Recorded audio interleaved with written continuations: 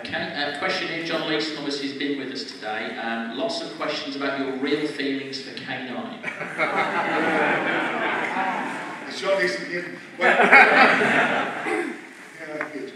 When, uh, when the K9 came in, I always thought, uh, probably mistakenly, but I thought, you know, it's to do with uh, modern technology, jokey technology, and that, um, that it was to do with, with merchandise, I thought. I, I have no reason, I'm just telling you what I thought.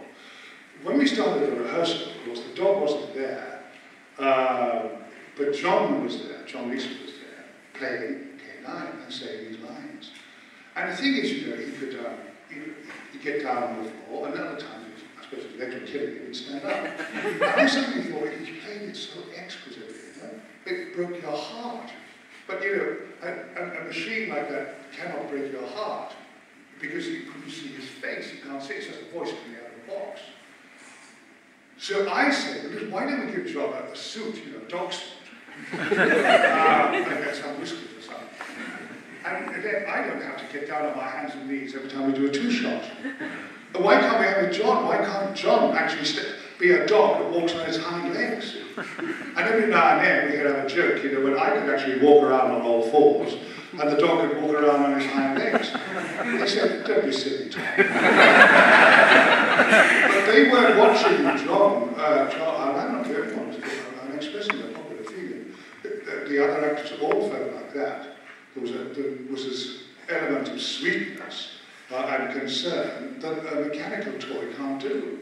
Uh, and so therefore, I felt that they wasted, well, John didn't stay till the end. He went off and someone else took it over because it was merely a voice. It was a waste of John, John Leeson's uh, wonderful gift of, you know, of sincerity and, and, and fun. And it could have been such a hoot, couldn't it? It could have been an absolute scream of a dog walking around its hind.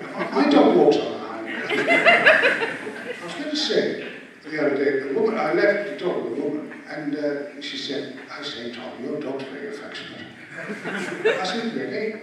Why's that so? Uh? She said, well, she said, I was talking to her, and she was looking, and she kept looking out the window, wondering where you were. And then suddenly she jumped up, and she put her arms around my neck. I said, her arms? Story about John Leeson. I said, you mean her legs?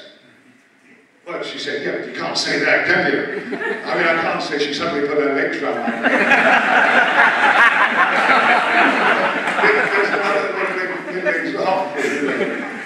going round. In other words, you know what I mean.